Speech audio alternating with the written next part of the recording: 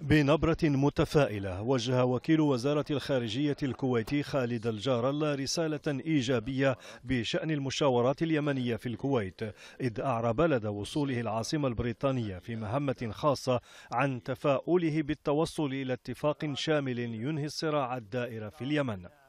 الجار الله أكد في تصريح صحفي أن مشاورات السلام اليمنية دخلت مرحلة التفاصيل في جذور الأزمة مشيرا إلى أنها باتت تسير في الاتجاه الصحيح واستند في ذلك إلى أرضية مشتركة قال إنها باتت تجمع الفرقاء اليمنيين ما يسهم بالتوصل إلى اتفاق شامل ينهي المأساة في اليمن على حد وصفه. من جهته أكد رئيس الوزراء اليمني أحمد عبيد بن دغر أن وفد الشرعية لن ينسحب من مشاورات السلام في الكويت لأن الحكومة حريصة على إنجاحها والتوصل إلى اتفاق سلام دائم وشامل وهذا لن يتحقق إلا بتنفيذ المرجعيات الثلاث المتفق عليها من كل الأطراف وهي المبادرة الخليجية وقرار مجلس الأمن 2216 ومخرجات الحوار الوطني.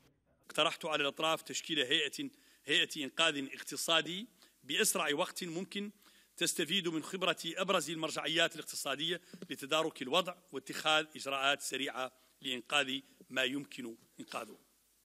وكان إسماعيل ولد الشيخ أحمد زف بشرى تعزيز عمل لجنة المعتقلين والأسرى بخبراء من الصليب الأحمر الدولي لوضع الوفدين في آلية وإجراءات عملية إطلاق الأسرى والمعتقلين التي قال إنها ستكون قبل شهر رمضان المبارك.